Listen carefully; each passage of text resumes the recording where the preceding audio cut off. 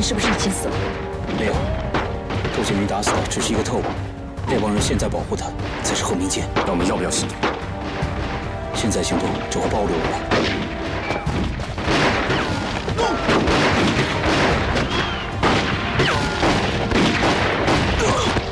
那边现在已经被暴露了，为什么他们还不撤退？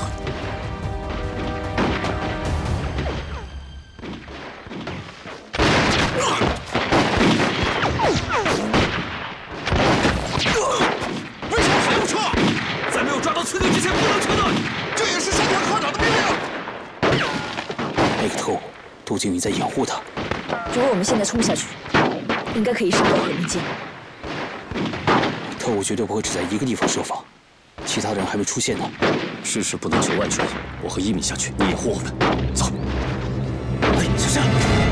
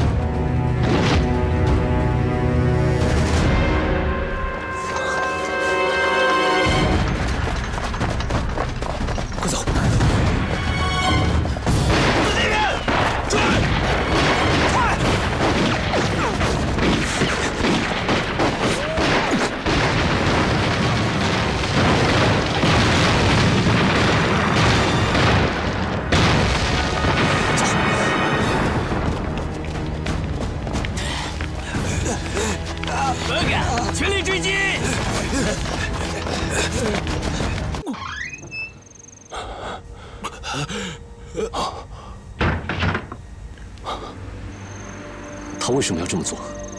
他想把敌人吸引到某个地方，可惜没有成功。那这么说来，肯定还有别的同伙。我怀疑是杂货铺的人，希望他们不要有事。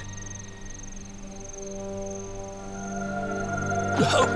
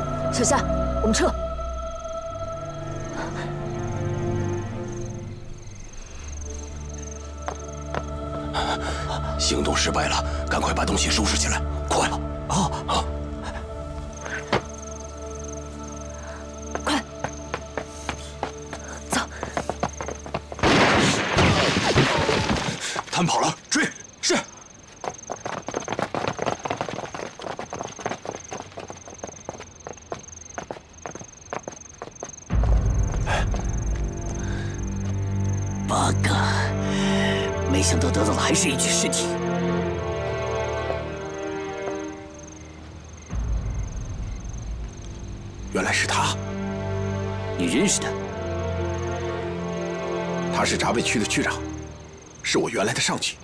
那你为什么不早说？丁处长，你立刻派人，务必要擒获其他几名同党。是，快去，跟我走。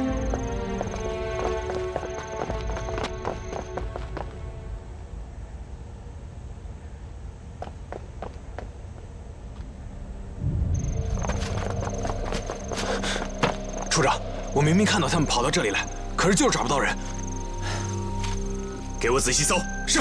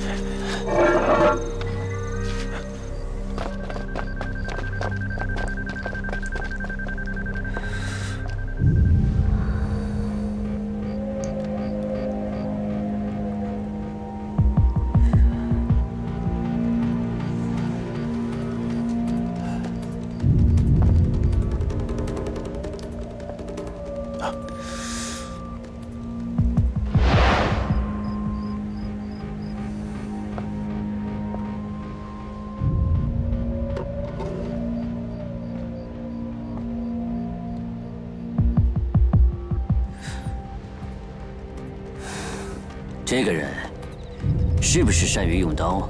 此人刀法确实不错。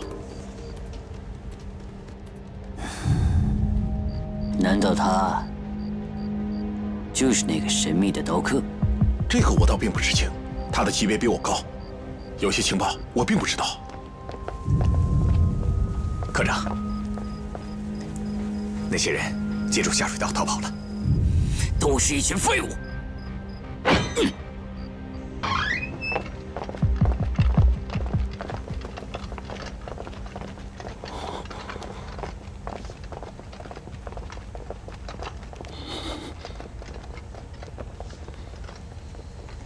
现在该怎么办？赶快收拾东西，明天一早撤离。好，好。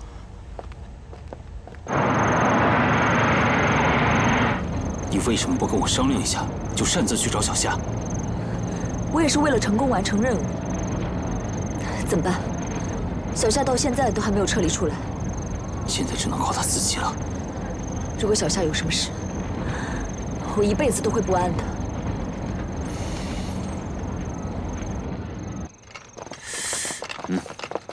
不对，我总觉得今天晚上非常的奇怪。那个人分明是想把我引到什么地方去。科长觉得有问题。如果是我的话，我应该还有支援点。对，那个杂货铺就是非常好的支援点。可是那个地方，却一直非常的安静。您的意思是，对方一定有什么阴谋，只不过还没有成功而已。龟殿君，科长，你悄悄的带几个人过去，务必把杂货铺的人给我活捉。哎，你们三个跟我走。哎，丁处长，你们侦缉处的人。也要配合行动。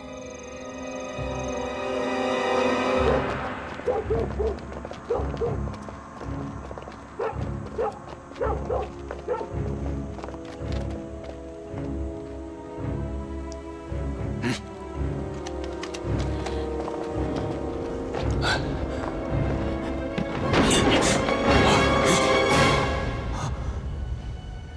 果然不出山田君所料。你们两个就是二少爷的同伙，我我们就是普通百姓啊，哪哪是什么同伙啊？普通百姓，如果是普通百姓的话，早就吓得尿裤子了，还能这么镇定？嗯，给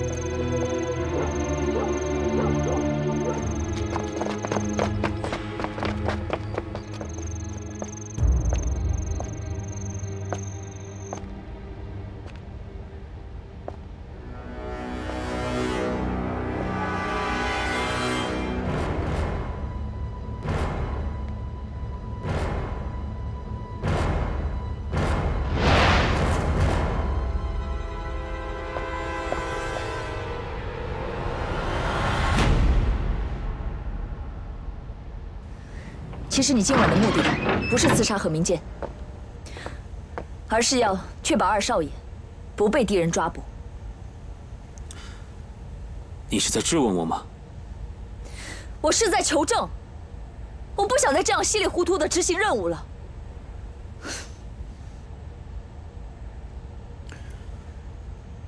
你说的只是其中一个方面，我也希望能够帮助二少爷完成他的计划。可如果计划失败，我绝对不会让二少爷落入日本人的手里。这二者并不矛盾。二少爷到底有什么计划？他在后院买了炸弹，希望能够吸引何明剑过去，又或者能够吸引大批的敌人过去。只要能够造成大量的杀伤，日本人就会对何明剑产生怀疑。可是，他并没有成功啊！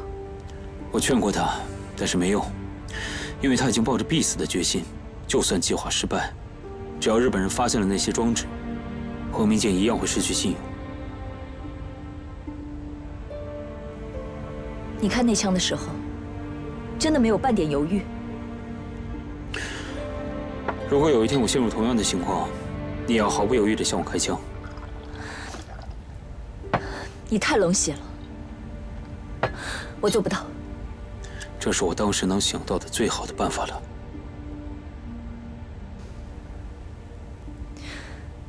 我想去打探一下小夏的消息。小夏的学习能力超乎你的想象，他既然能找到演武巷，那么也一定能安全撤离。你这么肯定？他有这个能力。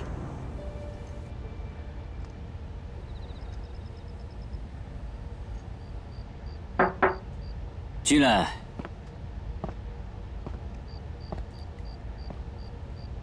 科长，龟田君他们全部遇难，杂货铺里到底发生了什么？应该是遭到了刀客的袭击，几个特高课人员全都是刀伤。刀伤？难道那个地方是刀客的聚集地吗？这个不好说，不过我在杂货铺里面有了重大发现。你发现了什么？我在杂货铺里面发现了起爆装置，在后院起获了大量的炸药。你的意思是说，今晚是敌人故意设下的圈套？是科长您洪福齐天，幸好那个二少爷被乱枪打中。要是按照事先商量好的必须捉活口的话，那个二少爷是想把我引到后院，然后引爆炸药。我一直在怀疑，那个二少爷是不是何明剑口中的什么区长？从今晚的表现来看，这完全不像一个区长的做法，倒像是一个亡命之徒的架势。你认为何明剑有嫌疑？这就需要科长您自己做判断。最近一段时间，何明剑确实没有为我们提供有价值的线索。何明剑的理由是，军统最近会保持静默。太牵强了。这样，你马上去给他安排车和保镖。我要让他成为我们最重要的人物。我要让这只小麻雀变成金凤凰。记住，一定要招摇过市。科长的意思是，要拿他做诱饵，吸引军统的人上钩。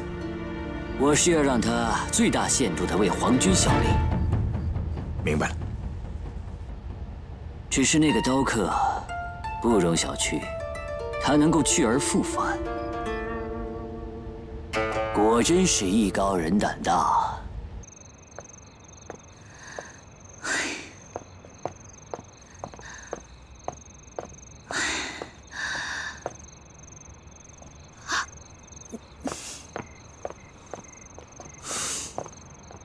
彩儿，等等我！你怎么在这儿？嗯，你在等我？谁等你啊？想得美！那你在这干嘛？我，嗯，练练拳脚。嗯，干嘛？你不是换了一身衣服吗？怎么又一身汗味儿？你说，去哪儿了？啊，我跟你一样，出去没事儿，练练拳脚。你要是不说实话的话，我就让阿爸以后晚上都不让你出去了。我说的是实话。鬼才信！哎，彩儿，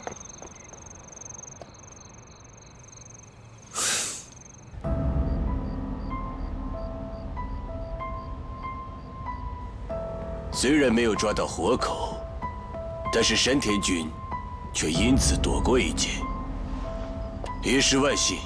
现场确实出现一个神秘刀客的踪迹，但我怀疑是敌人放的烟雾弹。有这个可能，他们或许是在转移我们的视线，还是要把精力放在上海的军统和地下党的身上。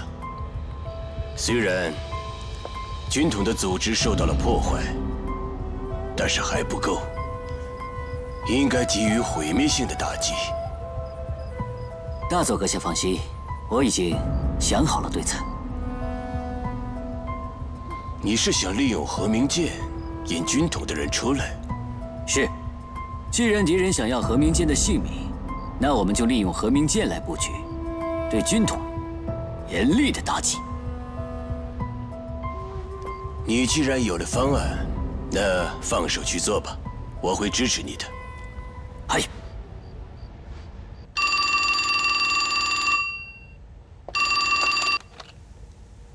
喂，喂，是张先生吗？请讲。华信里弄堂，我外婆搬家了。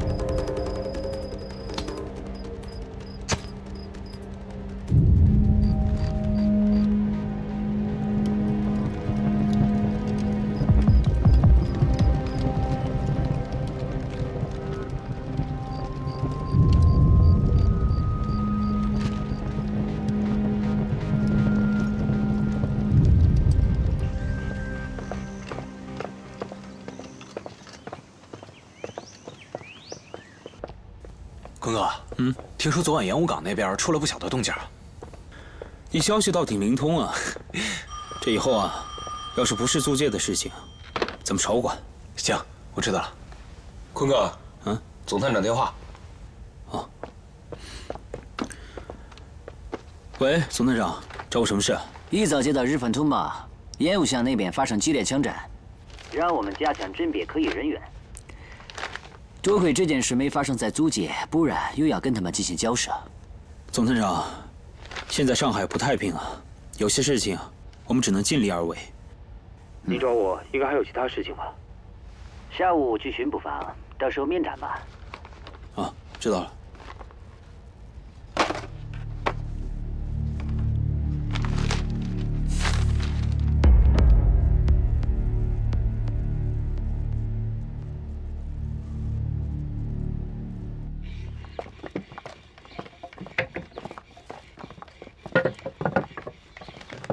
小夏，哎，坤哥，你怎么来了？昨天晚上杂货铺的事情，看看吧。战争年代，杀人放火的事儿还少见吗？现在方便吗？出去一趟。师傅留下这么多活，再不干完，他该起疑心了。那这样，晚上七点。啊，知道了。哎，阿坤来了啊，大哥，我来看看小夏啊。对了，昨天你大嫂还说呢，让我约你来家里吃饭。等周六吧，我也确实是好久没有跟唐伯伯好好聊聊了。我阿爸倒是没什么，主要是你跟彩儿。哎，我知道了，大哥，那我先走了。好，走了，小夏。哎，再见，坤哥。大哥啊，看看，嗯，怎么样？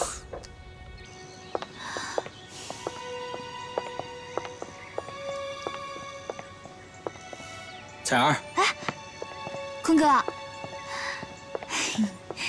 你一个大忙人，今天是专程来找小夏的？上回从南京回来，我也没送他，今天刚好路过，过来看看他。你倒是挺关心她。不过那个记者也来找他，你跟那个记者认识吗？我认识啊，但是不太熟。我先走了，下回有空再过来。等等，嗯，你跟我说实话，你们俩去南京到底做什么了？我不是跟你说过了吗？我去南京帮小夏找她身世的线索。我不相信。你要是不信的话，你去问问小夏，她总不会骗你吧？你们俩的口径是一模一样的。好了好了，我巡捕房还有事，真的要走了。等我下回过来看你，你再接着审我。啊！啊！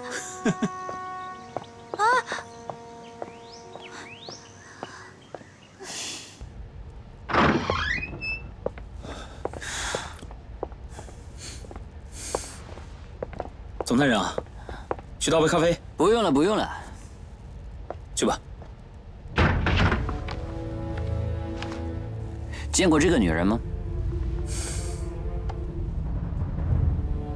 不认识。你有什么吩咐？你记住她的容貌，她会来找你的。具体办什么事我也不知道。嗯，这这位是？他叫杜静云。张探长，这是我私人的事，不要让别人知道。行，我明白。嗯，好的。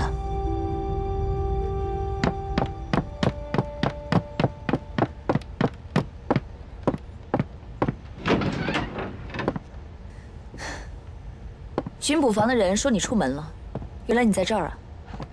今天的报纸你看了吗？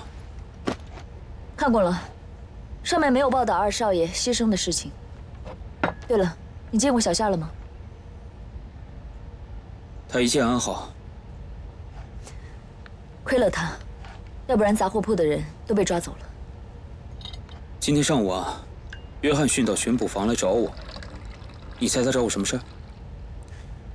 他给我看了一张杜静云的照片，照片上的杜静云穿着旗袍，跟咱们在二少爷家看到的一模一样。这事情怎么跟约翰逊又扯上关系了呢？约翰逊说这是他个人的私事，有可能是杜静云跟约翰逊有什么私交吧。也有可能。对了，我今天来找你呢，是想告诉你，昨天晚上我收到了重庆方面发来的消息。让我们刺杀何明剑，这有什么好大惊小怪的？重庆方面肯定会这样下令的。可是对方是打电话去的我家里，而且我去拿广告暗语的时候，发现胶水还没有干。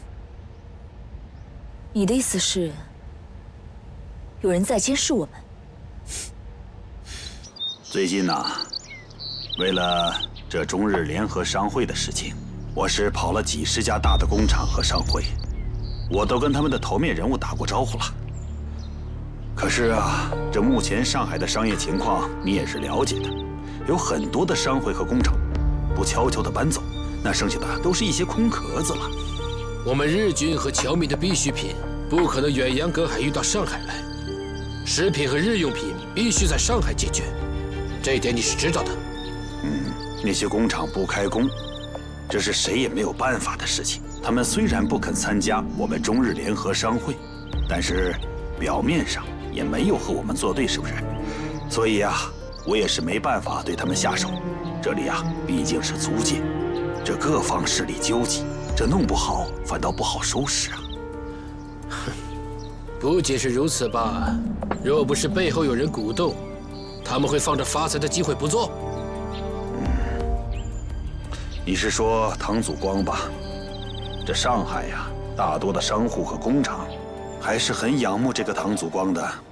唐爷，涂怀志派手下人威胁我说，不参加工商联合会就要给我停电。哼，这里是租界，他还想给我停电。批发市场的老穆说，京野威胁他，不加入工商联合会啊，就不批发给他。看来啊，日本人是偷偷插手租界内的事了。哎。我是跑到其他批发市场，花了高价才办妥的。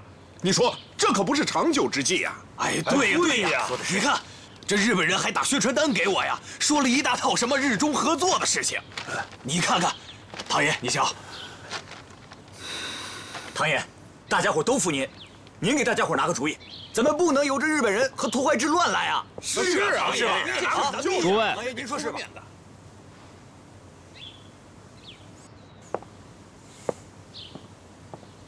这各家自扫门前雪，你们别什么事情，都让我阿爸拿主意。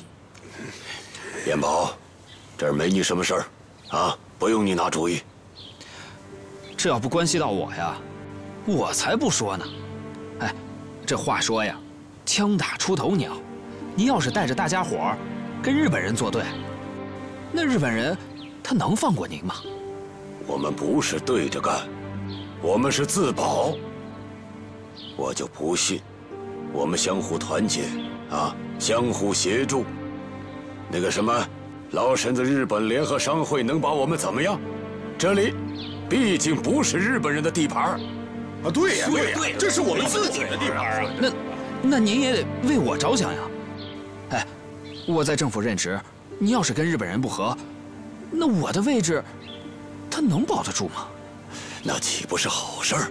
啊？那个什么政府官员，辞掉算了。辞掉？您说的那么轻巧。现在形势您又不是不知道，国民政府节节败退，这战事是一天不如一天。哎，万一哪天日本人要是进了租界，您怎么办？我又怎么办呀？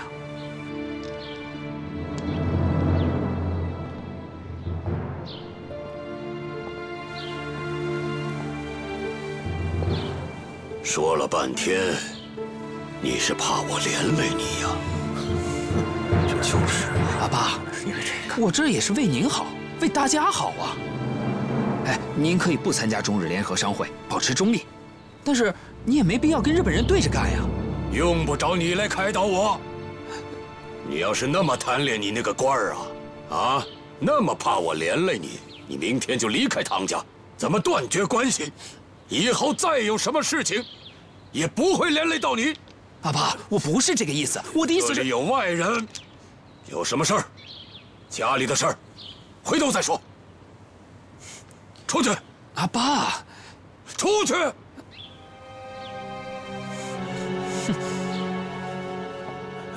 唐爷，唐爷，你也别生气啊。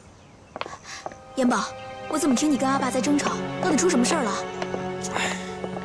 那些个商人，让阿爸出头。跟日本人作对，我好言相劝，结果把阿爸给惹恼了。长辈们说话，你插的什么嘴？阿爸怎么说？阿爸，阿爸说让我搬离唐家。你呀，就是惹祸。阿爸的性子，话出口就没有收回的。我看你怎么收场。姐，怎么了？哎呀。你就别瞎掺和了。我是担心我姐，要是你的话，我理都不理你。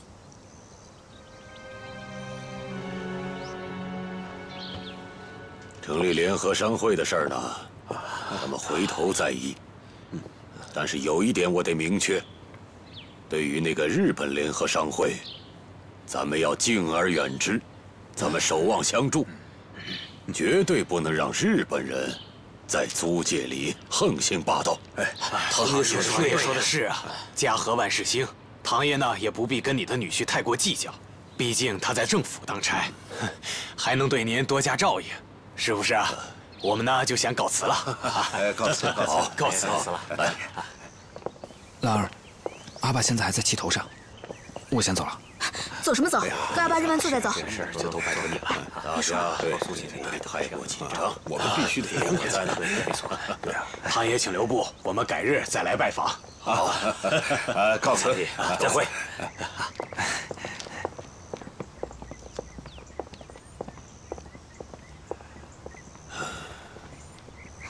阿爸，元宝有话跟您说。延宝，啊，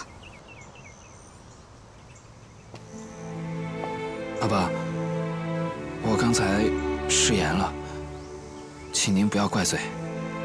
刚才是你的心里话吧？阿爸，我刚才那么说，也都是为了您好啊。你为了我好？你瞧瞧你刚才那个样子，我都觉得丢脸。我是想保家里平安，可是我也绝不允许涂怀志那帮人为所欲为。涂怀志他不是有日本人撑腰吗？张口日本人，闭口日本人，看来你是死心塌地的要当那个官了。阿爸您先别生气，回头我跟他商量，让他把政府的差事辞了。哎，这这还得跟上面说说呢。我辞掉这个差事，要再想找那就可难了。阿爸说过，家里又不是养不起你，这差事没了，再找份别的。元宝，我先把话说在前头，你自己想明白。如果你不辞掉这个官儿，你就从这个家里给我搬出去，我眼不见心惊。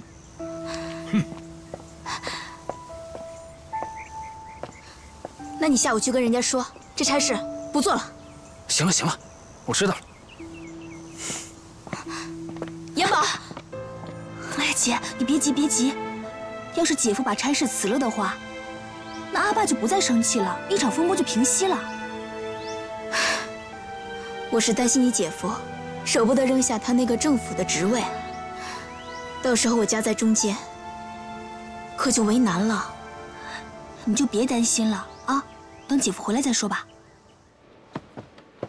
赵局长，我有件事情想跟您商量一下。是竞争秘书处处长的事情吗？哎，对对对。你放心，我都已经打好招呼了。你的希望很大。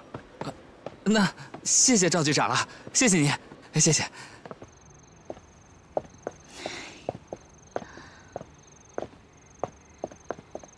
哎姐夫，怎么样了？辞职的事情怎么样了？阿爸在家吗？在家呀，被你气得一天都没出门。啊，那，你姐回来了吗？在屋里呢。哎，我问你辞职的事情怎么样了？大人的事情别瞎打听。那政府的事情是说辞就能辞了的吗？不是你，你怎么能这样啊？元宝，元宝。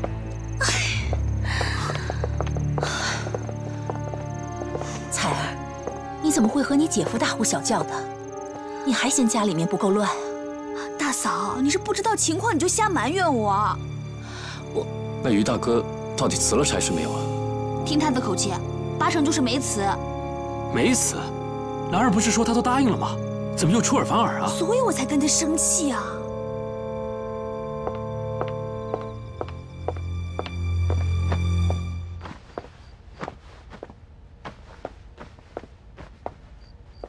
怎么，你已经开始收拾东西了？别人不了解你，我还不了解你吗？今天一天也没给我和家里跟阿爸来电话，这差事肯定没辞呗。哎呀，我跟你讲啊，今天上午赵局长跟我说，下一步就将升任我为政府秘书处的处长了。这个机会可是有多少人盯着呢？说白了，你就是舍不得。老婆，好不容易爬到今天这个位置。要是辞了，咱们以后怎么办呢？再说了，我要是升了官，这以后家里所有的事情，还不是得我说了算吗？行了，这话我听得多了。既然你已经决定了，那就收拾东西吧。我一会儿去跟阿爸告个别。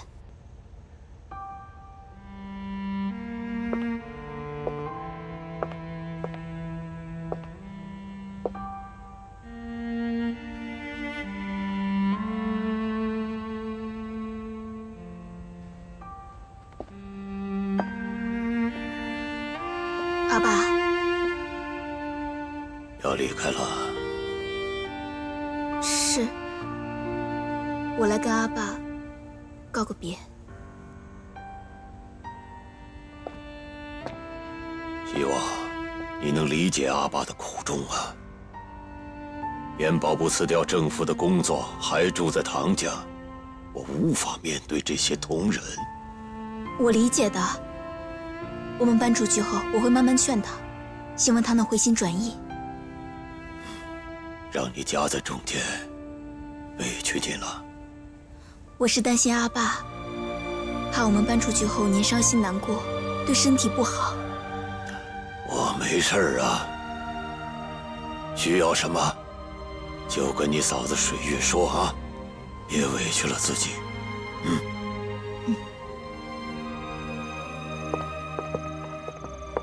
燕宝，你说你这叫办的什么事情啊？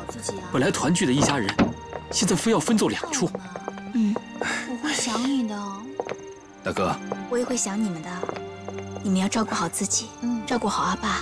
这人各有志，我这样做也是为了大家着想。以后要是有时间呀，我会经常回来看大家的。哎，你还是少回来吧，免得阿爸看见你就心烦。彩儿，都是一家人，说话注意分寸。行了，住的又不远，你们别送了。兰儿，等阿爸气消了，你跟严宝再一起回来吧。一家人热热闹闹的，你看，你们走了，我们都冷清了不少。嗯，那我们走了，多回来看我们。嗯。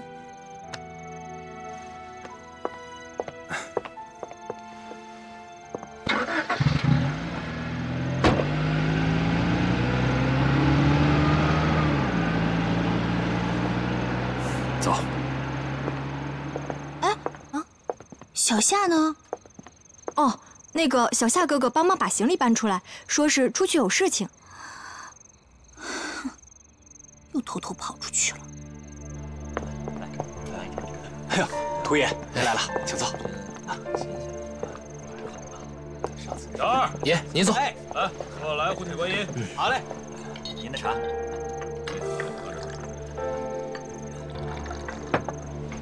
来，先生，您的铁观音。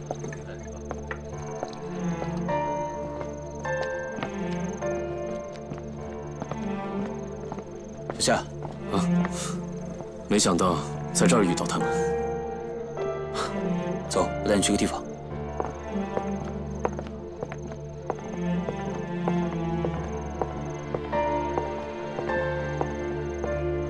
这是我的一个联络点，以后有事情可以来这儿商量。联络点都告诉我了，你就这么相信我？我们是一起经历过生死的，有什么不能相信的？进来吧。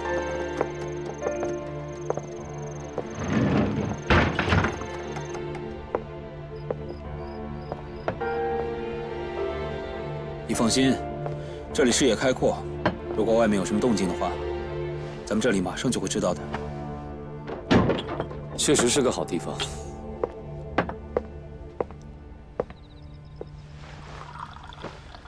你让我来这儿，不会是请我喝茶的吧？首先，我要感谢昨天晚上你对我的帮助。要不是因为你，杂货铺那几个人已经被特高课的人逮捕了。很可惜，人没有救下来。二少爷和那几个人是因为何明剑而死的，而何明剑手里掌握着不少军统的情报。我只想尽快查出杀害我家人的凶手。昨天晚上要不是因为有你的帮助，很可能我们现在的身份都已经暴露了。你们是我的朋友吗？我不可能视你们的安危而不顾。只是二少爷跟那几个人是我的同志，他们同时也是抗日的战士。难道他们的生死就不重要吗？我从来不杀中国人。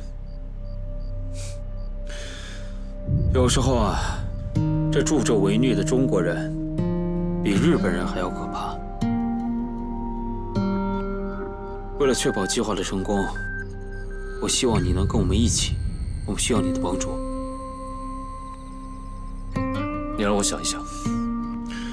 时间紧迫，不管你参与与否，我们都会尽快展开第二次行动。行吧，时间不早了，我先回去了。这么早就回去啊？兰儿一家搬出去了，师傅正在气头上，而且彩儿也因为我老是外出起了疑心，我还是赶紧回去吧。严某他们为什么搬走？唐家的事，你还是问唐家人比较好。小夏，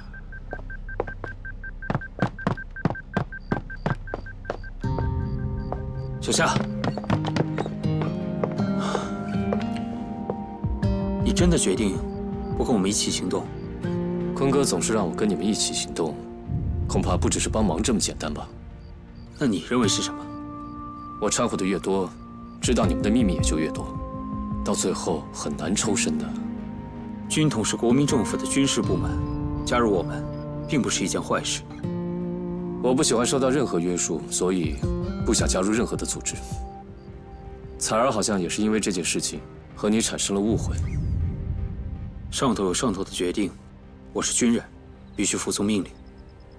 我正是因为这一点，才在犹豫是不是要跟你们继续合作。好，我不会勉强你做你不愿意做的事情，但是我希望你能帮我除掉何明剑这个叛徒。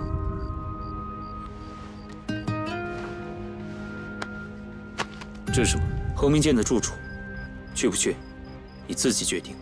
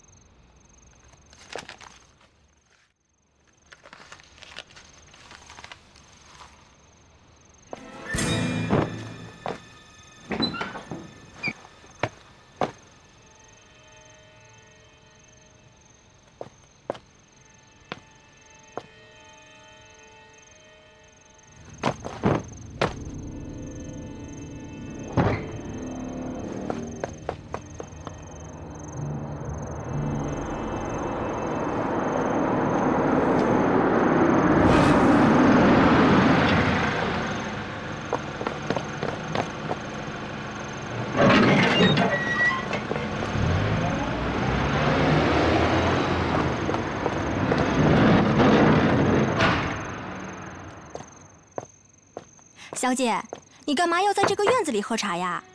乘凉。你呀，这不折腾吗？现在夜里还凉着呢，小心着凉。哎，你烦不烦？你不热我热。好吧。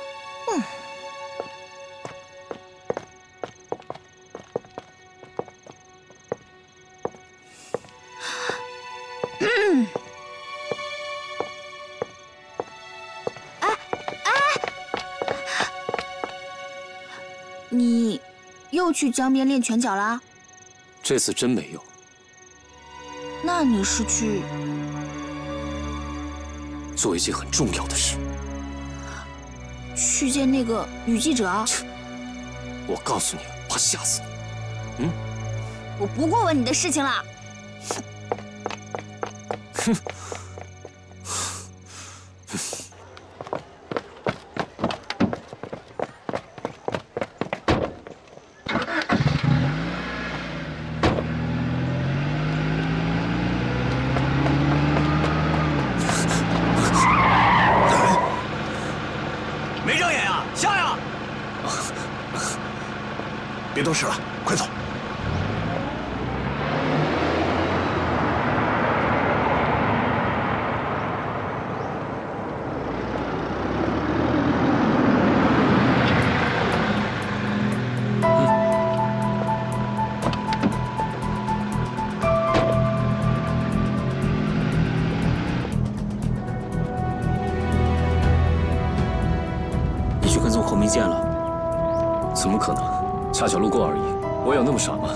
条腿怎么跟得上汽车？我还以为你会对他有所行动呢。不会，对方保卫那么严密。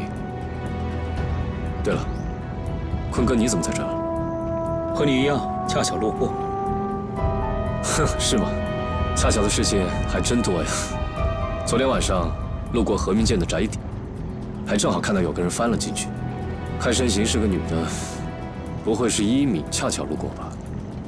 那个人不是他，他有什么行动的话，必须提前向我汇报。哦，宅邸那边增加了不少守卫。你为什么要告诉我这些？那当然，忙是要帮的，只不过我不想跟你们搅在一起。那你也不能一个人行动，我不希望你有危险。放心，自保我还是有信心的。你确定你要这样做？是。看来我很难说服你啊。如果我需要你的帮忙，你会怎么做？我答应你的事情，一定会兑现。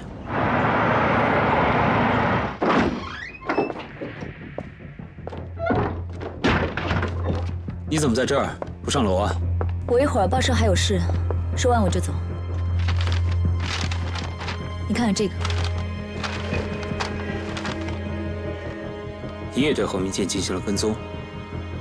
当记者的好处，就是信息量比较大。这些都是我从同事那打听来的。日本人是故意让何明剑到处现身，好把咱们给引出来。这些信息的可靠性都不太大。至少我们可以在路途中做文章。如果缺乏有效的支援，就凭你我二人进行伏击，成功率太小了。那你告诉我，你发现了什么？国际饭店四零八房，这何明剑的一个栖身之处。这个我也知道，国际饭店的房间都是特高科租的，那边的防守更加严密。可就是今天何明剑离开以后，特高科的人把那个房间给退了。这你都知道？不仅如此，昨天晚上有一个神秘的女子对那个住宅进行了勘察，看样子也是要对何明剑下手。这么多信息你都知道，难不成你有分身术？后面那些是小夏告诉我的。小夏，你说服他参加行动？他还是坚持要自己行动。他太固执了。那个神秘女人是谁？我现在也不太清楚。今天晚上我去那个房子勘察一下。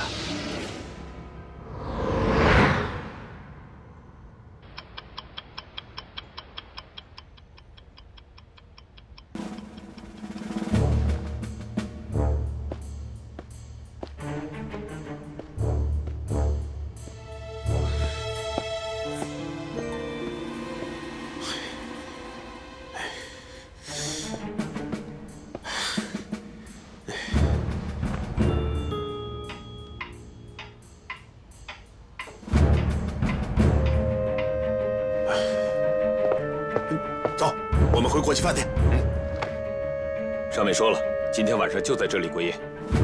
这里？为什么在这里过夜？不清楚，我们也是奉命行事。如果有特殊的安排，这里将是你以后固定的住所。这到底是谁下的命令？我要见山田科长。这就是山田科长的命令。如果您坚持要见他，我可以马上汇报山田科长。哎，既然是山田科长的意思，就不必劳烦他了。不过我想知道，你们能够保证我的安全吗？这个您可以放心，我们已经加强了警戒，确保您万无一失。好，能给我一把枪吗？这一点小事就不用劳烦山田科长了吧？起码来了刺客，我也能够自卫啊。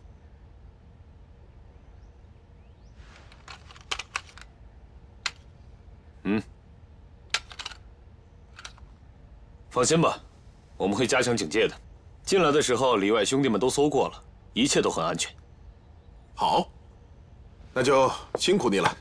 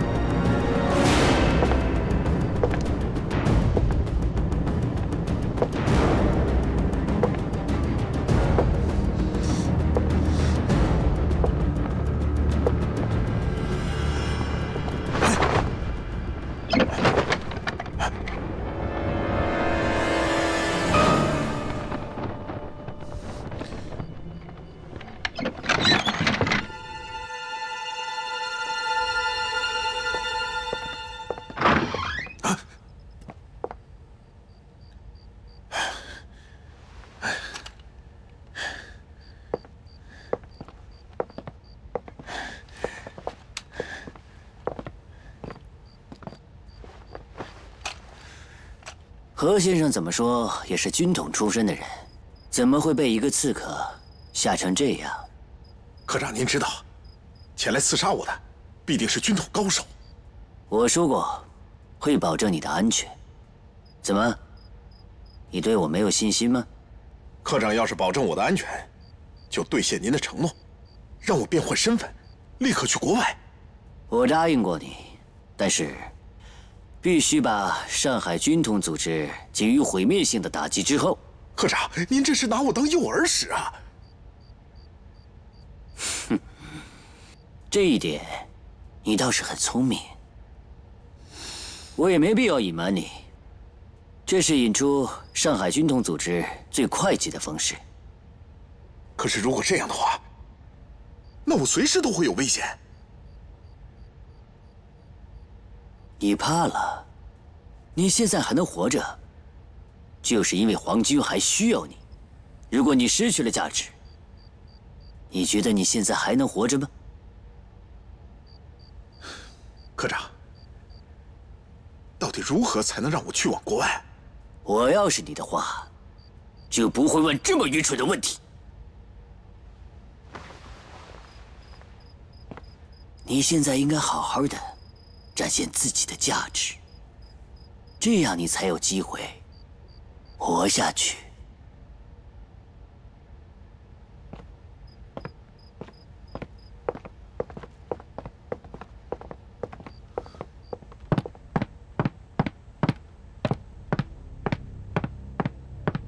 这么晚来找我，有什么事吗？事发突然，杜静云按耐不住了，今天晚上到何明剑的宅邸进行刺杀了。就他一个人？嗯，这要不是我在暗中相助啊，今天晚上他命就搭那儿了。看来他不知道山田在那设下了陷阱。有一件事我一直想问你。嗯，你问吧。重庆为什么到现在都没有派行动组来支援我？这事，这事你应该去问梅站长吧。这跟梅站长有关？我只是推测，可能梅站长向重庆方面汇报，想用刺杀何明剑这次行动来考验我。我记得你上次说过，他是怕你危及到他的位置。哎，这一切只是推测啊，仅限你我二人之间讨论。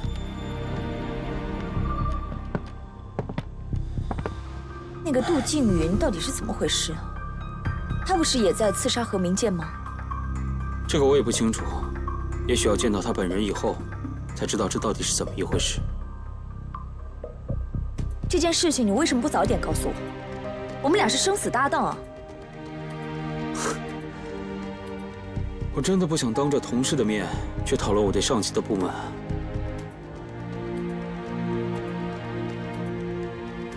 那我们现在该怎么办？侯明剑的事情要抓紧了，再这么拖拖拉拉，如果让上层对我感觉不满的话，我今后的麻烦可就大了。那我去找小夏帮忙，有他在，我们的力量会增加不少。你有把握吗？我是个女孩子，小夏很难拒绝女孩子的要求。那倒是。你是说彩儿？兰儿他们搬走了，也不知道现在过得怎么样了。大嫂，他们才搬走一天，你担心个什么劲儿啊？你这孩子心也真是够宽的。唉，现在早饭少了他们二人，我都觉得冷清了不少，这心里还怪不是滋味的。都怪于元宝，没事跟阿爸较什么劲呢？你怎么这么没大没小啊？于元宝也是你叫的，少奶奶、二小姐，这位小姐要找小夏哥哥。易小姐来了，找小夏吗？是。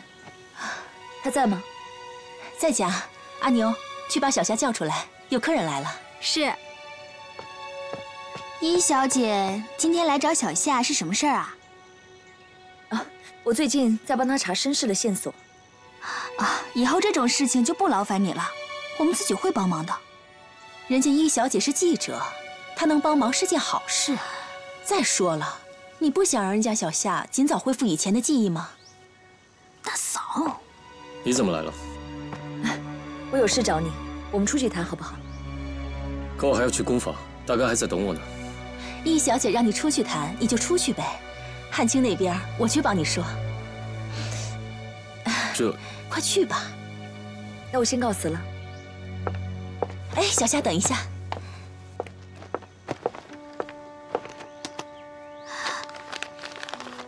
出门别让女孩子花钱。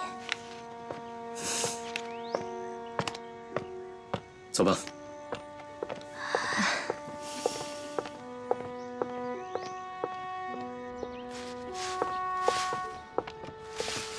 说吧，找我什么事儿？这个地方怎么说啊？那在哪说？你大嫂不是给你钱了吗？你还不请我喝杯咖啡？大嫂是误会了，她以为你是我的女朋友。这样挺好的啊，以后你要出门的话，就说来找我，他们肯定不会怀疑的。我可不想引起他们的误会。说的好像你吃亏一样，吃亏的人是我，好吗？行了，别说了，我真的找你有事。哎哎，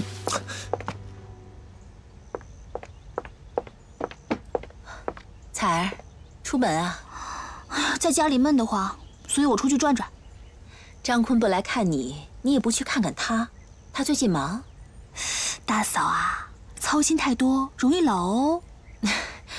我这不是为了你好吗，彩儿？哎，大嫂，我不跟你说了，我先出去了。哎，哎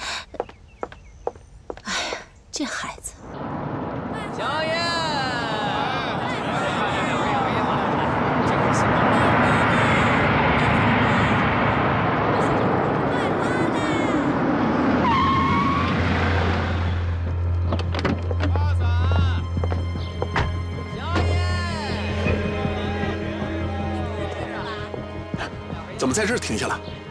您明天不是要扫墓吗？提前把花买了吧。在这里买花，我明天扫墓的事，对方很容易就会知道。赶紧把车开走。这是山田科长的命令。好吧，那就按科长的意思办。给我一束白菊花。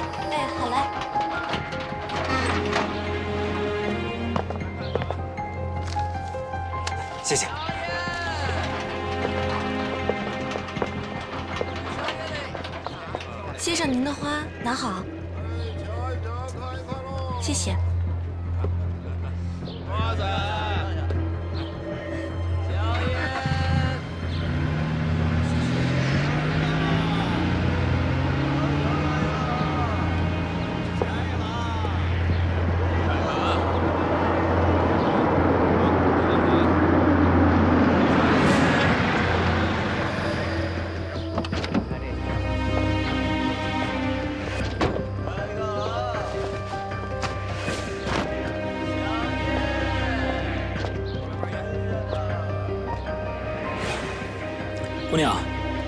那帮人买的什么花呀？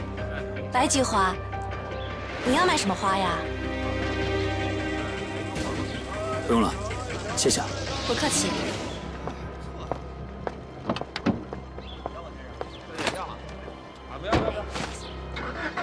火车，快点来了！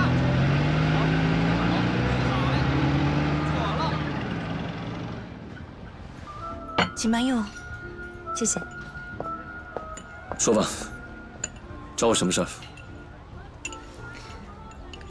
张坤说：“你肯帮我们，却不肯跟我们一起行动。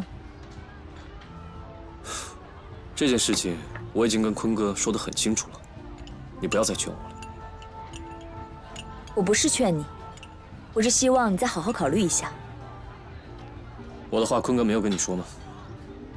告诉我了，可是他有些话也没有跟你说。嗯？什么话？我记得张坤以前跟我说过，只要你不愿意加入军统，他是不会勉强你的。这就是为什么军统到现在都不知道神秘刀客的原因。但是坤哥现在的做法，是让我和军统的关系越扯越深。可能你有些误会坤哥了。其实上面对他到现在，都还没有完成任务，已经起了疑心。所以他很着急解决何明剑的事情。那他为什么不亲口告诉我这一切？因为在某些方面，你们都是一样的，有什么事情都自己一个人扛着，不让别人知道。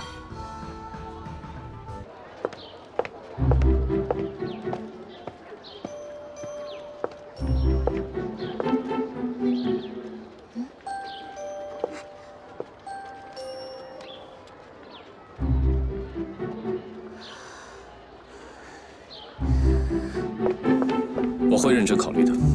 我们真的很需要你的帮助，不要再犹豫了。彩儿，给我来杯咖啡。好的，您稍等。你怎么来了？彩儿，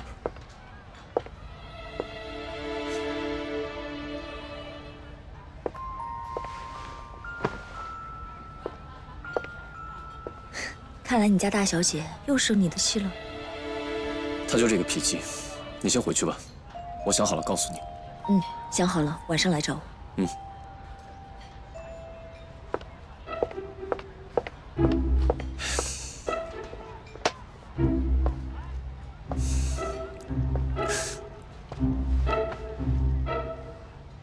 你怎么来了？咖啡馆是对外营业的，你们能来，我当然也能来啊。哦，那我们谈完事儿了，要回去了，你要不要跟我一起走啊？不用，免得你说我不给你空间。嗯，那我先走了，你慢慢喝。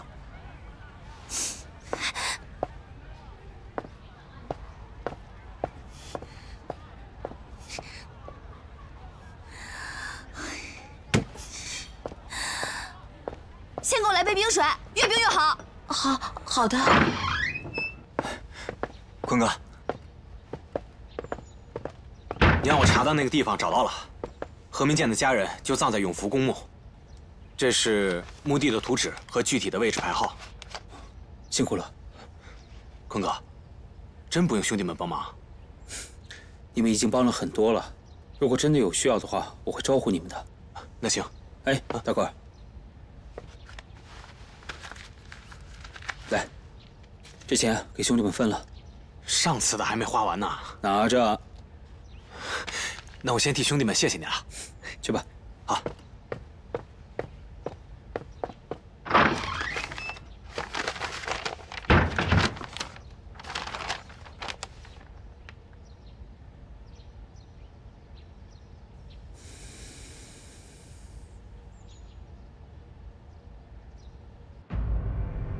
何明剑这边七点钟出发，特高课和侦缉处的人要提前进入埋伏地点。我马上着手安排。科长，明天能不能多安排一些警卫人员？不行，人太多了，会打草惊蛇。墓地那边地形复杂，对方很容易得手。怎么？你觉得我安排的不合理？科长，我觉得何明建的话有道理，不能让对方轻易的得手。那么快失去鱼饵的话，就不会再上钩了。那好，警卫的事情，你看着安排。是。详细的事情你们再商议，我先回去了。山田科长，慢走。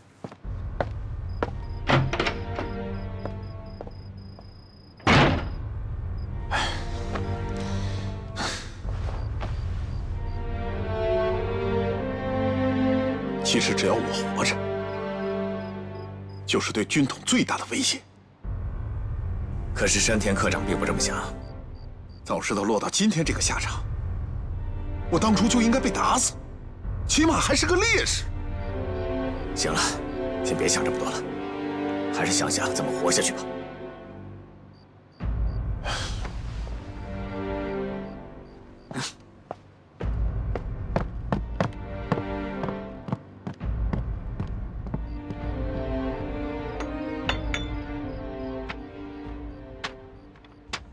看来，是有人故意要放出何明剑去墓地的消息。这确实是对方布的一个局。不过永福公墓的地形复杂，比较利于伏击，就算对面有埋伏，我们还是有希望的。小夏怎么还没来啊？他也没说他要来啊。我把你的难处都跟他说了，他应该不会拒绝。任一鸣，你跟他说这些干什么呀？总得有人跟他说出实情吧。这么晚了，他应该过来了。说曹操，曹操到，脚下来了。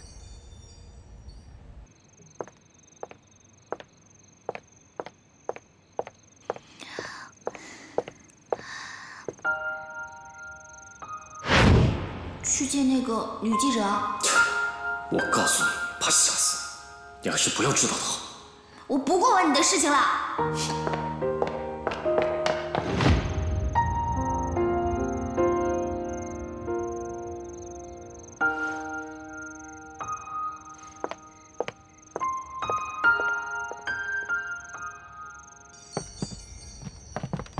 看来还是一米说的对呀，你确实很难拒绝一个女孩子的要求。你再这么开玩笑的话，万一小夏反悔了怎么办？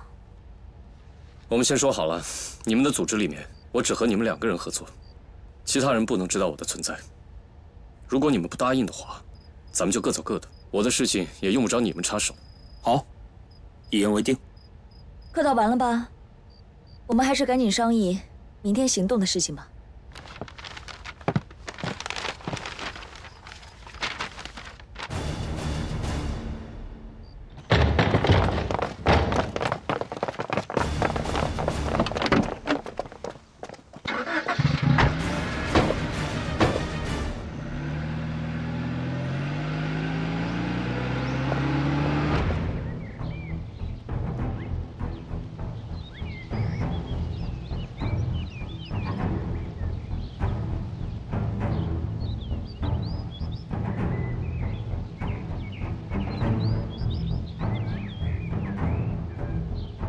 这帮特务是昨天晚上事先埋伏好的，人数还不少。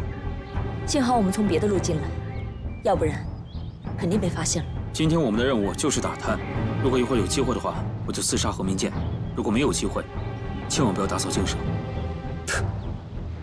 早知道是这样的话，我就不过来了。我经常外出，会引起唐家人怀疑的。放心，他们要是问起，你就说跟我在一起。反正水月已经把我当成你的女朋友了。以大嫂的性格啊，到时候一定会撮合你们两个。哼，说不定过几天就会请你们到府上去吃饭呢。哎，别老是开玩笑行不行？我没钱，我可养不起一个妓主。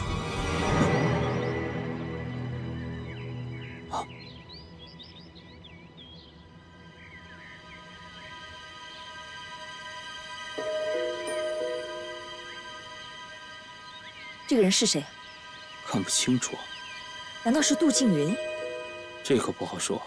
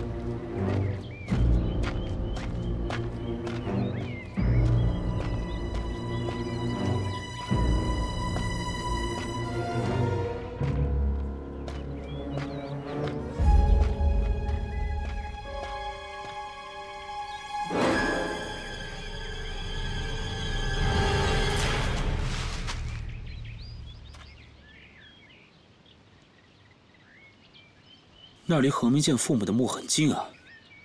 看身形，不像那天在何明剑家出现的那个女人。你这么确定？这个比较疯嘛。你倒是观察的仔细。哼。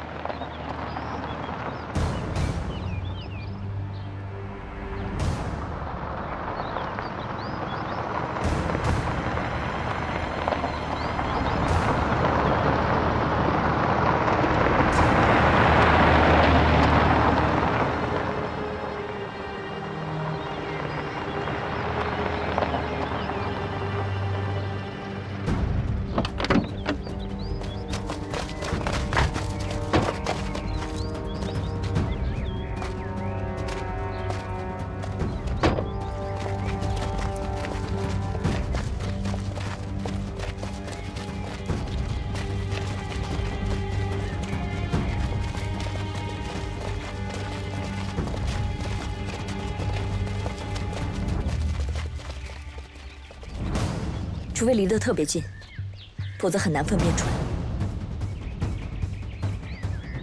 停止行动，撤离。是。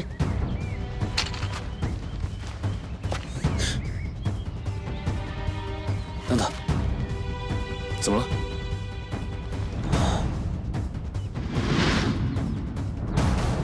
还有一个狙击手，那肯定就是杜静云。我们怎么办？对方还没有发现我们，先观察一下再说。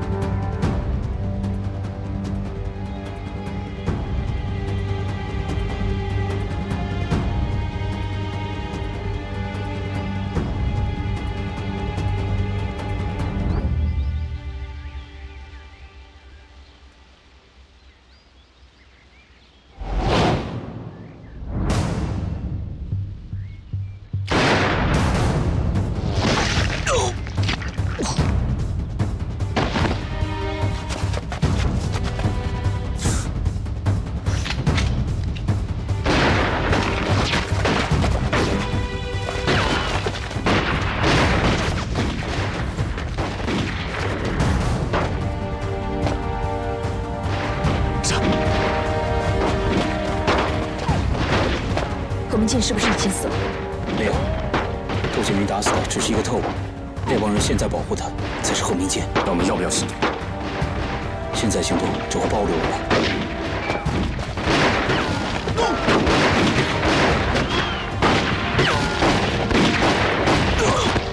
那边现在已经被暴露了，为什么他们还不撤退？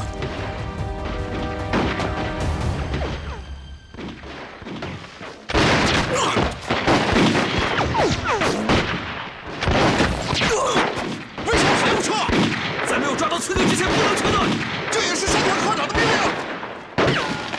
那个特务，杜静云在掩护他。如果我们现在冲下去，应该可以杀到何明剑。特务绝对不会只在一个地方设防，其他人还没出现呢。事事不能求万全，我和一米下去，你掩护我们。走。哎，小夏。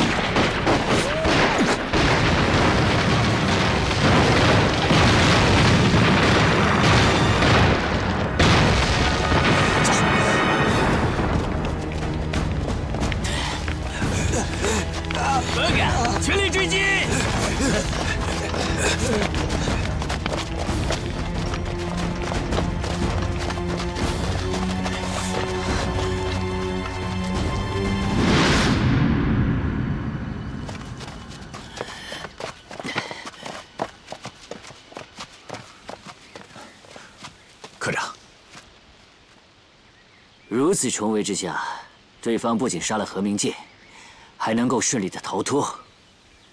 真是没想到，对方竟然设置了两处狙击点，而且来的人都是高手。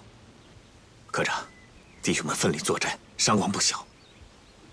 主要是，他们提前觉察了我们的行动，才使得功败垂成。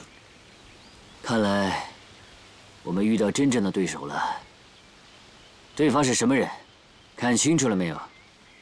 科长，当时太乱，我回去仔细询问一下。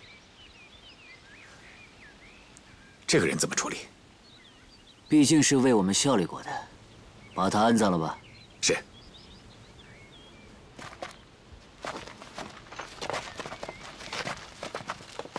找个地方把他埋了。是。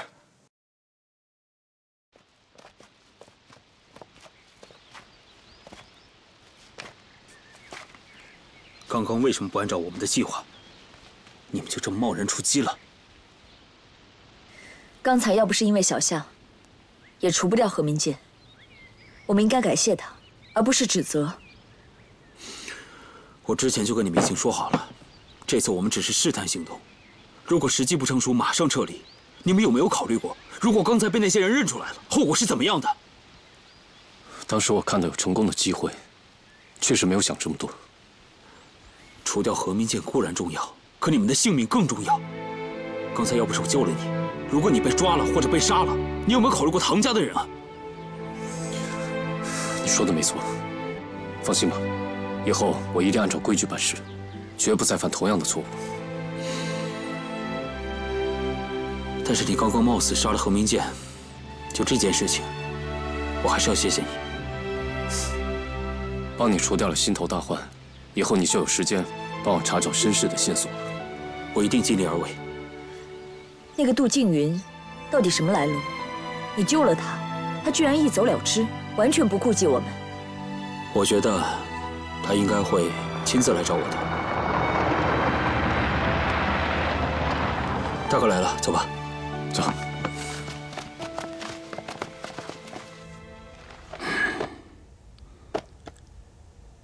功亏一篑，如此轻易的就失去了何明剑这个鱼饵，有些可惜了。对方做了精密的布置，是我太轻敌了。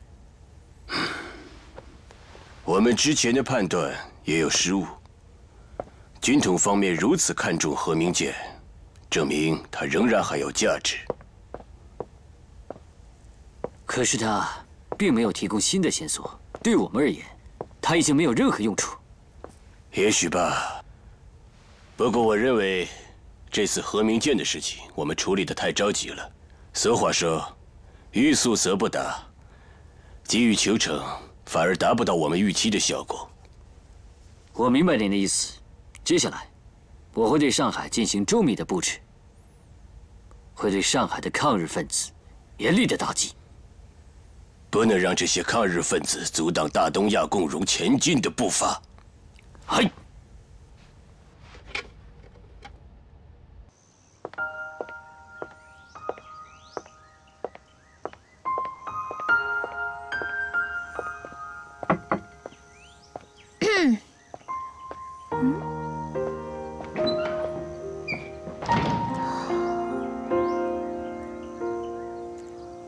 小姐，嗯，你是在找小夏哥哥吗？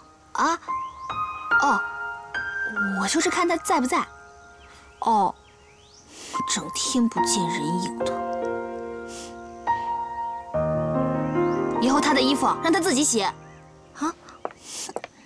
哎，不是你让我照顾好小夏哥哥的吗？嗯。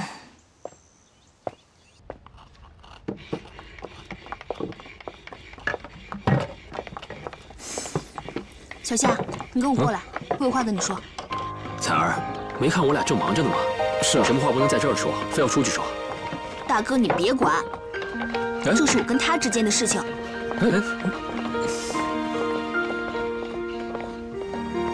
到底什么事情啊？你跟我说实话，你最近到底在干什么？能不能不说呀？不行，你一定要跟我说实话。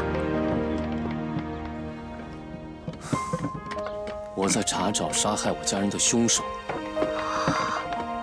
那你为什么不告诉我呀？我也可以帮忙。是因为一敏吗？自从你跟他在一起以后，你就不需要我的帮忙了。没有，他只是给我提供了一些线索。我们没有在一起。真的？我有必要骗你吗？那你跟坤哥去了一趟南京以后，你就变得不一样了。以前什么事情都跟我说的，现在总是瞒着我。我没有瞒你，可能是你变得太敏感了吧。那我们以前的约定还算不算数啊？当然算数了，我答应过你的事情一定会办到的，你放心。去忙吧。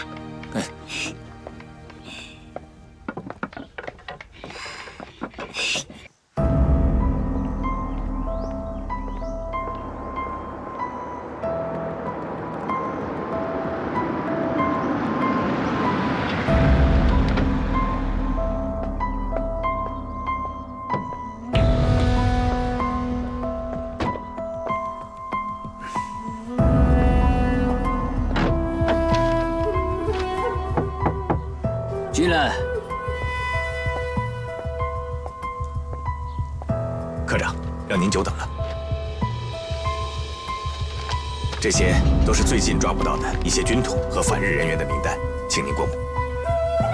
辛苦你了。为皇军效力，是我应尽的职责。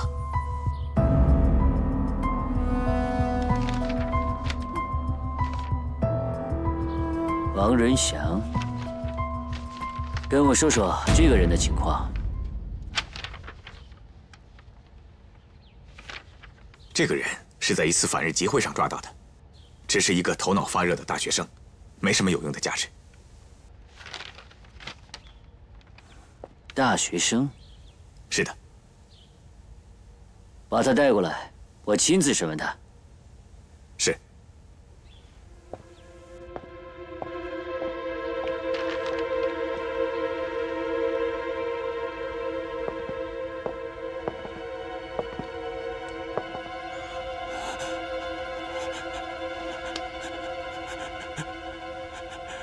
你叫王仁祥？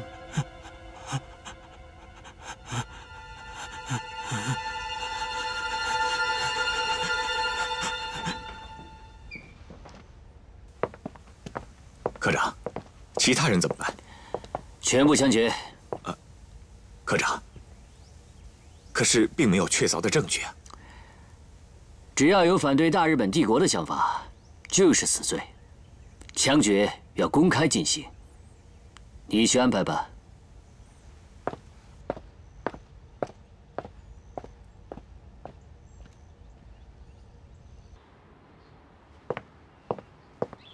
哎，坤哥，嗯，有人来找你，我让他在办公室等你。办公室？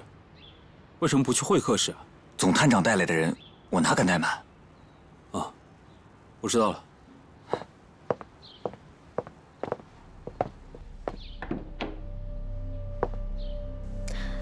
张探长，不好意思啊，让你久等了，坐吧。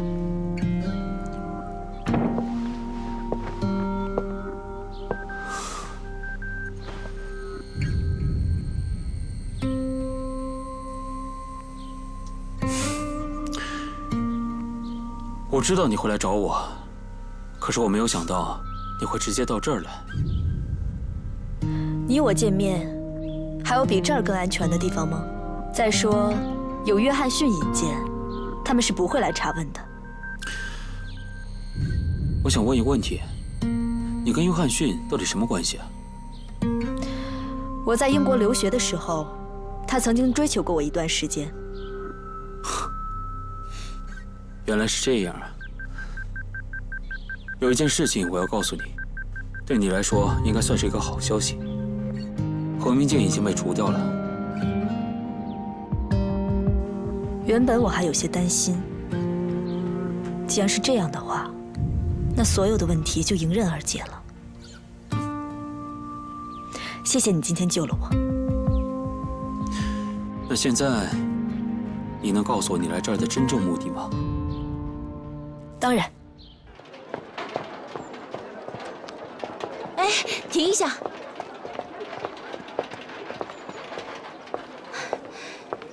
易小姐，易小姐，少奶奶，不要叫我少奶奶，小夏叫我大嫂，你也叫我大嫂吧，叫少奶奶怪别扭的。大嫂，哎，易小姐，你这是要上哪儿去啊？我刚刚下班，正准备回去呢。啊，如果易小姐不嫌弃的话，我想邀请易小姐去家里做客。呃，太打扰了吧？不打扰，易小姐能去我们家，我们全家都欢迎呢。好，走吧。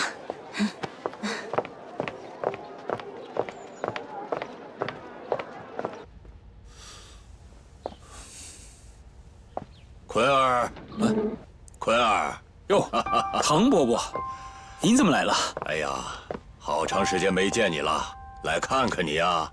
啊，唐伯伯，我最近工作比较忙，没时间去看您，是晚辈的不对。今儿怎么样？今天没什么事儿。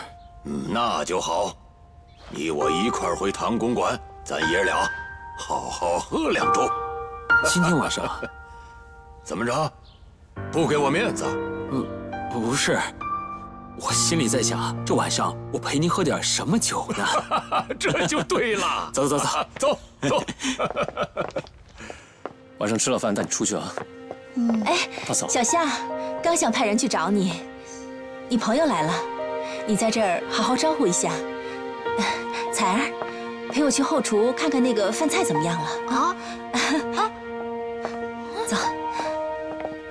你怎么又来了？怎么，不欢迎？那倒也没有，只是觉得有点突然。我今天在路上正好遇到大嫂，她一定要我来，我也不好推辞啊。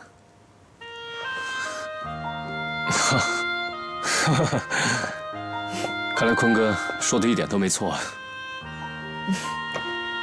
幸好你来了，刚才大嫂审问我半天呢。审问你？他问我多大了，家在哪儿，父母是做什么的，问得我汗都出来了。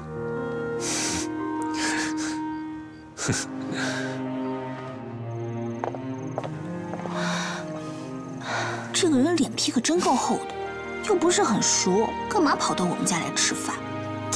别这么说，是我专门请易小姐来家里的。大嫂，居然是你请的？你帮我看看，他是不是跟小夏很般配啊？人家是记者，怎么会看上一个做家具的小学徒呢？怎么说话的？我当初看上你大哥那会儿，他也还没出徒呢。他怎么能跟我大哥比呢？哎，行了，不说了。啊，一会儿阿坤也来了。怎么回事？他不是很忙吗？他怎么有空过来啊？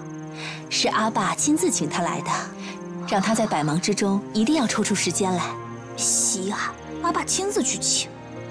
阿爸这不也是担心你们俩的婚事吗？这俩人老是不见面怎么行呢？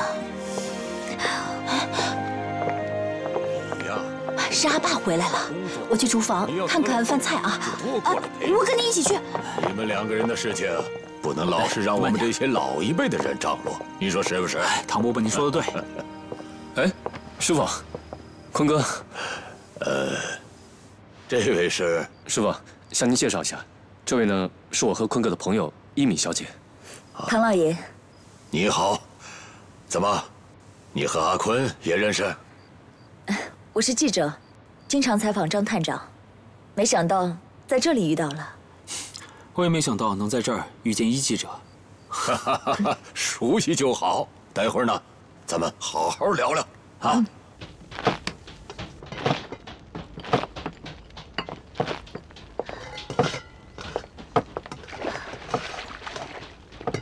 嗯，彩儿，你怎么还在这瞎忙活呀？啊！赶紧去客厅陪陪张坤聊聊天哎，我这我就不用去了吧？有阿爸陪着就行啦。怎么这么说话呢你？阿爸可是为了你才把张坤专门请过来的，你怎么不领阿爸情呢？怎么了？你是不是和张坤吵架了？没有啊，怎么会呢？我们俩很久都没有见面了，怎么会吵架呢？那不就得了？别浪费了阿爸的一番好意，快去陪张坤聊天，快走！哎呀，阿牛，阿牛，你真的不需要我帮忙吗？不行，去吧，去吧，快去吧，彩儿。这孩子，阿爸，啊，菜上齐了。好，大家随意点啊，别拘束啊。来，哎，等一下，汉卿，你坐这儿来，彩儿你坐过来。啊，水月，啊，平常我不都坐这边吗？平常是平常，今天是今天呀。啊，哦哦，对，呃，彩儿，你坐这儿。大哥，不用麻烦了。彩儿，家里的事儿水月说了算，听你嫂子的。彩儿，快点坐过去，要不然阿爸又要说你了。快快快，快点坐过去。易小姐。麻烦您跟我换一个位置好吗？坐到小夏旁边来，我坐在那儿好招呼大家。那听大嫂的。依依小姐什么时候成了我们家里的人了？怎么称呼起大嫂来了？是我让她这么叫的，这样听起来多亲切呀！哎，对，就叫大嫂，显得亲切啊！来，吃饭。给 阿坤多加点好菜，啊！坤哥吃菜啊，谢谢。小夏，嗯，哦，谢谢。哎呀，小夏，你也真是的，哪有客人招呼主人的道理啊？嗯，多吃点。谢谢。来，坤哥吃菜，多吃点啊。大家难得聚在一起，喝一杯。来，干杯！干杯！干杯！公开枪决那些疑犯，你是什么用意？反日分子的行动虽然对我们没有造成直接的伤害，但是他们蛊惑人心，危害比那些刺客有过之而无不及。这一点呢，我同意。不过呢，这里面的人有些未经核实清楚。枪毙他们，反而会引起更大的不满。我就是要把这些人的不满引发出来，只有他们现身了，我才能够找到他们确切的位置。要是他们始终不出现，那我们很难将他们一网打尽。要是您不同意的话，我马上撤销命令。如果你有这样的打算，那应该通过报纸制造更大的舆论才是。大佐阁下，所言极是。石德军，哎，枪毙现场要派重兵保护，防止有人破坏，同时，也向那些中国人展示我们日本皇军的军威。哎，有空呢就常来家里坐坐啊。会的。啊，小夏啊，一小姐一个人回去不太安全，你去送送她吧。不用了吧，前面那路口就可以叫车了。彩儿，刚好我跟一记者同路，我送她回去吧。这样也好。那我告辞了。好好，回吧，回吧，啊。走吧。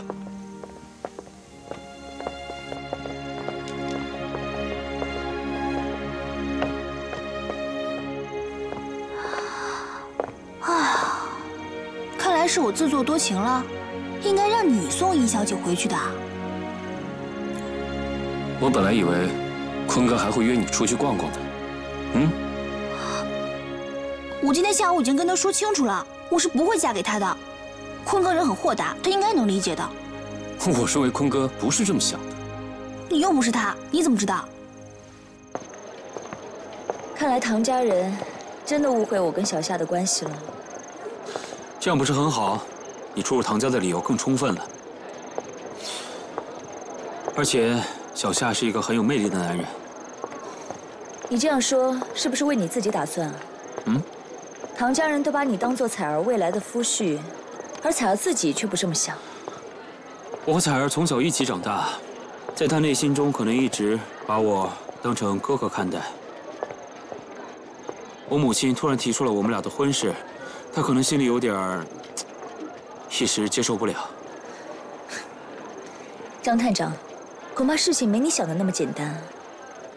你没有看出来彩儿对我有醋意吗？醋意？嗯。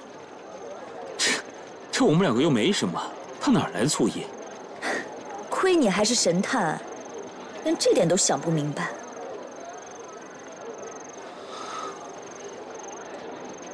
你是说，他喜欢小夏？你自己都说小夏是一个很有魅力的人，他们都在唐家，日久生情是难免的。小夏倒是极力克制，你那个未婚妻，可就不好说了。不会的，我多多少少对彩儿还是有一点了解的。女孩子是需要哄的，刚才你就不应该主动来送我。你这么做，你让彩儿她怎么想？你如果未来都一直这么对她，你会后悔的。行，知道了。其实我也明白，我确实对彩儿的感受欠考虑。我还有一些事情要告诉你。什么事情？这不方便，回去说吧。嗯。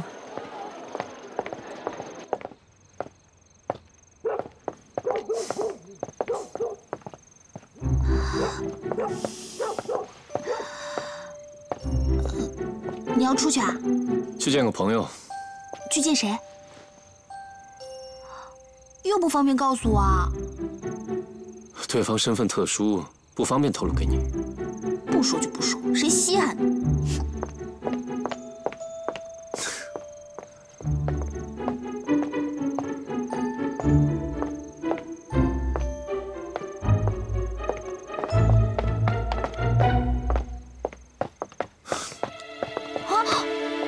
大晚上的你要去哪儿啊？你都不告诉我你去哪，我为什么要告诉你呢？我跟你说，大晚上一个人出去很危险。今天你不告诉我去哪儿，我是不会让你出去的。笑话，我和阿爸都管不到我，你凭什么？我担心你啊。那好吧，我告诉你吧，我跟同学见面去。你好不容易消停一段时间，不会又要采取什么行动吧？只是见面而已。你听我说，真的不要再冒险了。你们只是一群学生。太啰嗦了，一点都没有神秘刀客的风范。我我，我告诉你，我本来就不是什么神秘刀客，我叫小夏，我叫夏光奇。走吧，神秘刀客。嘿，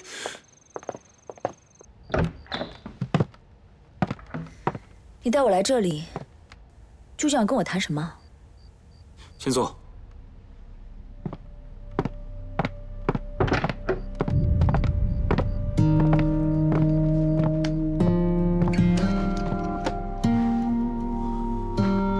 静云今天到巡捕房来找我了，他是重庆派来的特派员。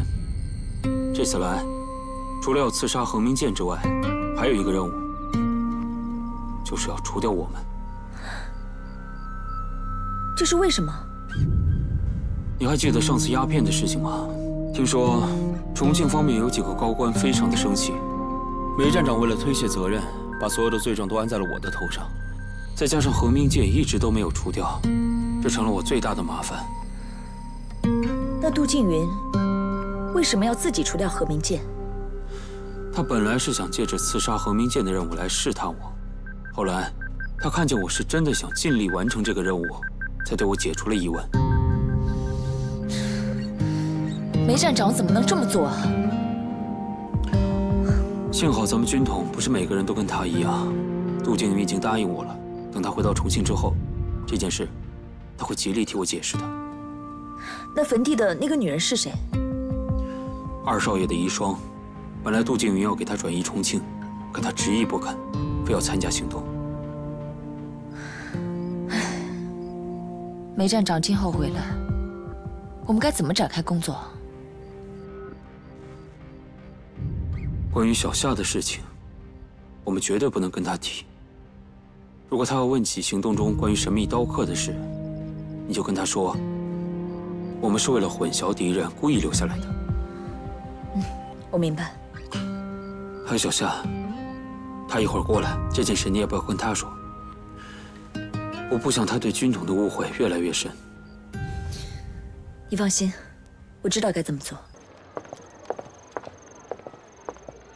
待会儿遇到什么情况，千万不要冲突，安全第一，明白了吗？嗯。前面不远就是教堂了，你不要再送了，我不想让同学看见你。那你务必小心。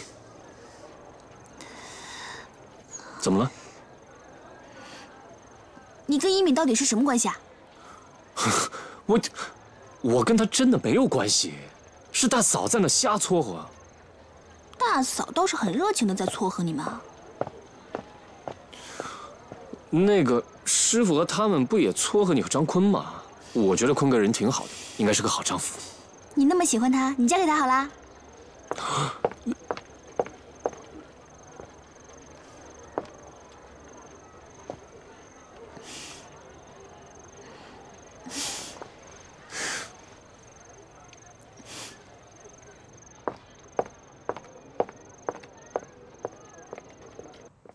哎，彩儿，你怎么才来啊？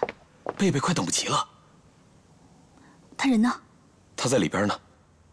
听说他表哥明天要被枪决了，伤心的哭了。去看看吧。走吧。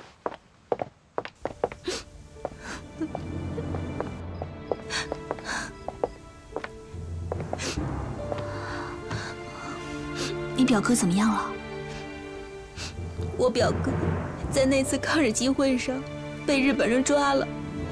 本来托人说情，说关上一段时间就给放出来，可是下午姑妈去探望的时候，看守又说这些人都要被枪决，不准探视。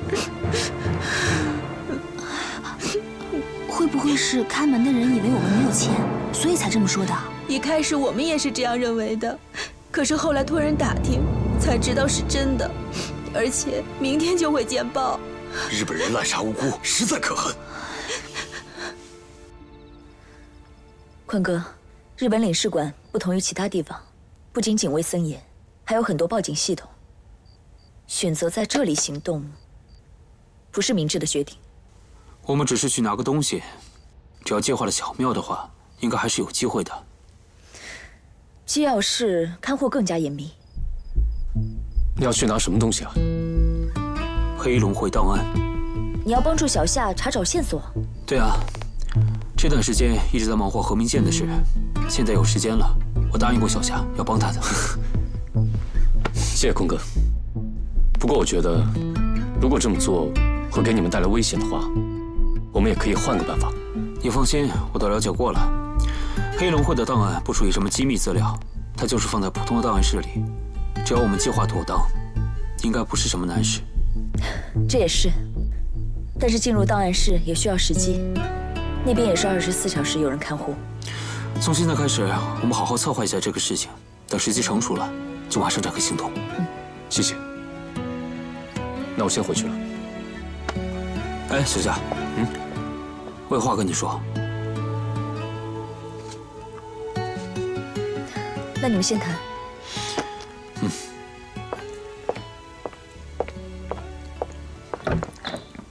什么事儿？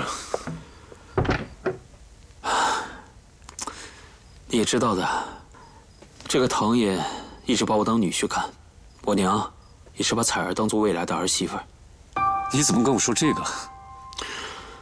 哎呀，我原本一直以为啊，彩儿是因为我妈突然上门去提亲，才跟我闹得别扭。可今天晚上在唐家吃饭，也看到了，这彩儿对我还是不冷不热的。我只是想问问你，你知不知道她到底怎么了？坤哥，我觉得吧，这件事情你还是应该去问彩儿，问她究竟是怎么想的。你现在一直住在唐家，你跟她在一起的时间应该比较久，应该比我会更了解她。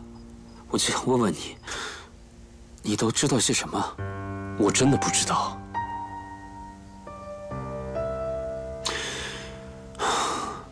也是，我跟彩儿在一起这么多年了，我也实话告诉你，她到底是怎么想的，我也不知道。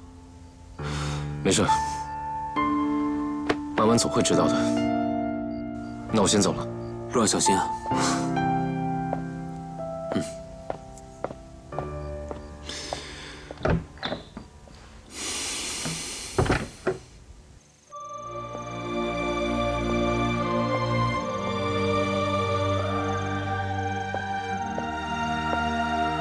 也知道的，这个唐爷一直把我当女婿看，我娘也是把彩儿当做未来的儿媳妇。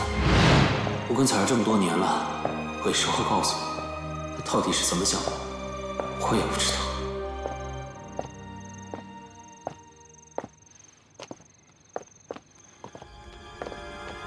眼看着无辜的人被杀害，我们却一点办法都没有。要我说，宁做战死鬼，不做亡国奴。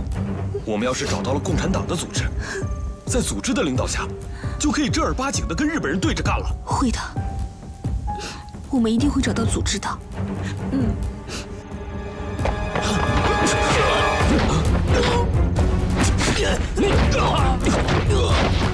你们快走，快走啊！那你呢？不用管我，先走。走，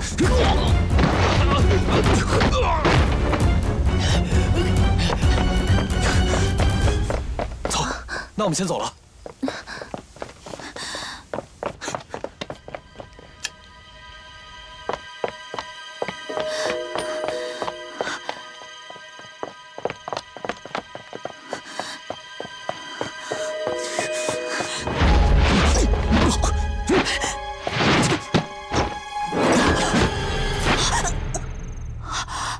小夏，怎么会是你啊？我在追那个逃跑的特务，他现在肯定回去汇报了。我们赶紧走。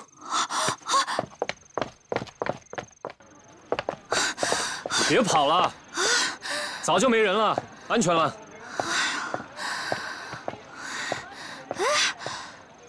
你你怎么会在这边啊？我正好路过，看到有一个特务趴窗户上偷听，我就出手了。正好路过，哎，你又骗我啊？啊？说实话，是不是因为担心我啊？嗯。嗯。哎，我说你是不是应该请你的救命恩人喝杯咖啡啊，而不是站在路上质问我？喝咖啡好啊，但是要你请客，哪有女师傅钱的？我，哦，没事，上次大嫂给的钱还在，要不然我还真请不起。走吧。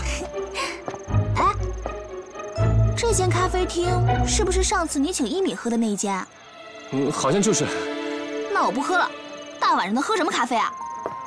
哎，那那换一家喝呗。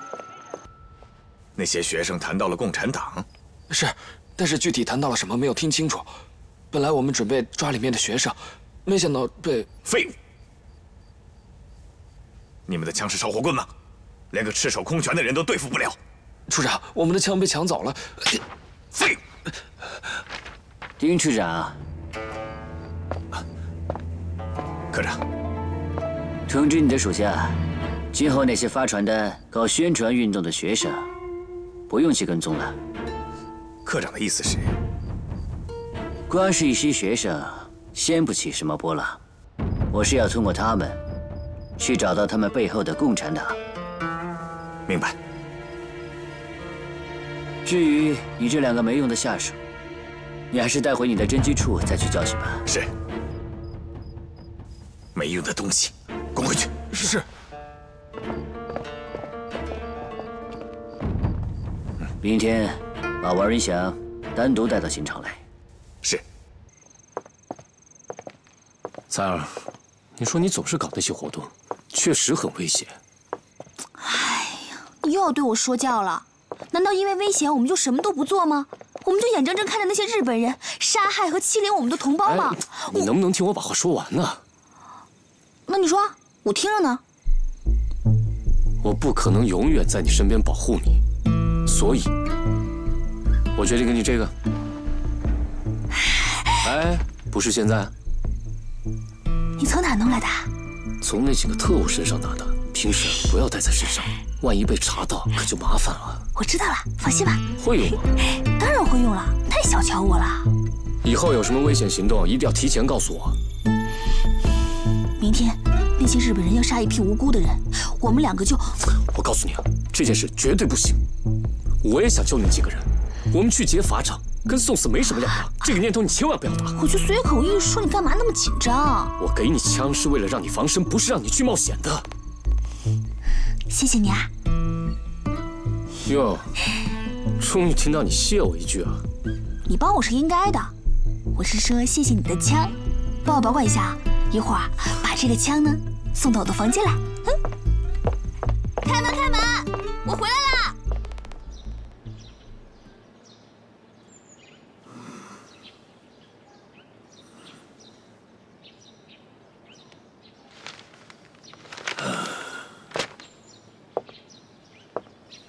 阿爸，阿爸，你怎么了？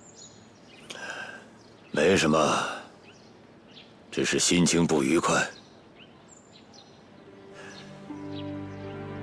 现在的形势是越来越坏了，阿爸呢，想旧事重提。你呀，要不然去国外，或者是内地。你再考虑考虑，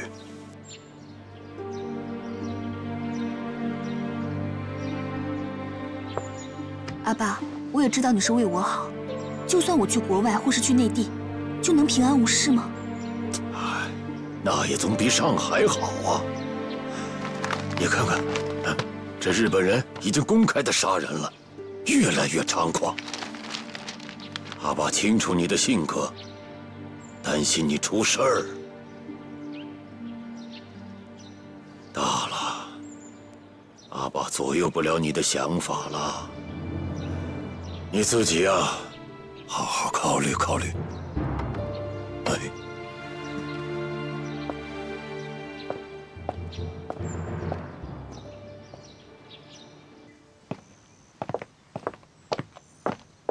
要出去啊？哦。你不会要去法场吧？怎么可能？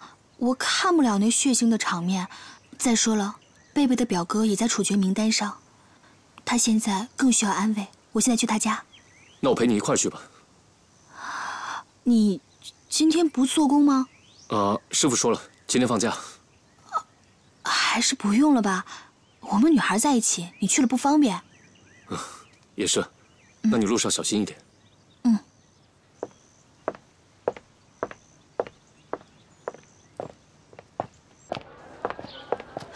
黄包车。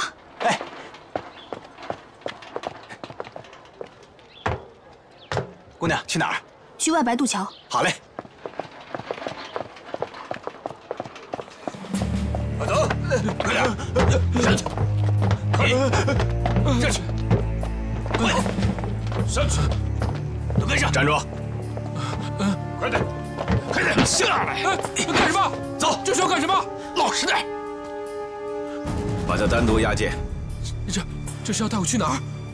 带你去个好地方，刑场。我不去，走！我不去，带走。我不去，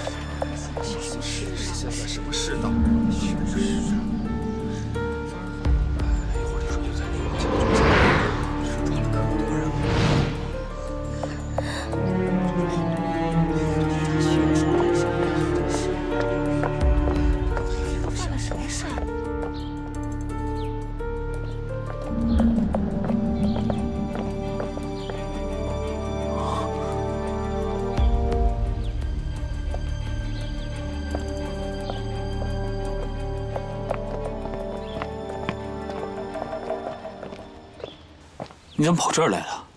没什么事儿，随便过来看看。没想到坤哥，连日本领事馆也可以随便进出啊。巡捕房和领事馆经常会有些文件往来，我偶尔也会来。只不过，这个二楼的档案室如果没有提前预约的话，我是没办法上去的。原来是这样。你今天出来，彩儿没问你啊？她去找她同学了。听说他同学的表哥今天要被执行枪决，他去安慰一下。他那个同学要看他表哥，应该是要去刑场，怎么会在家里？你的意思是，彩儿会去刑场？跟你上车。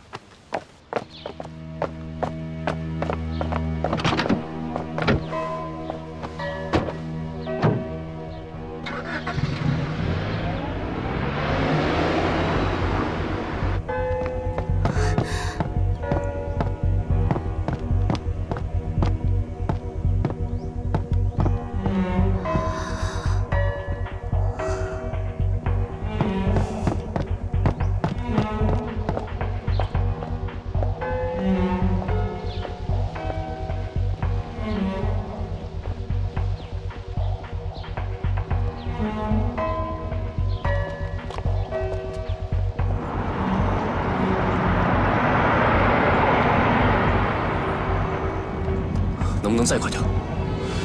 刑场那边日本人警戒严密，彩儿应该不会轻举妄动的。我昨天给了彩儿一把手枪。你给他枪干什么？我是担心他的安全才给他的，现在看来反而更不安全了。你呀，你让我说你什么好？